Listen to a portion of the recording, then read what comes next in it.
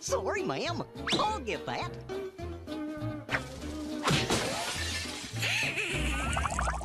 Now, Daisy, double, double.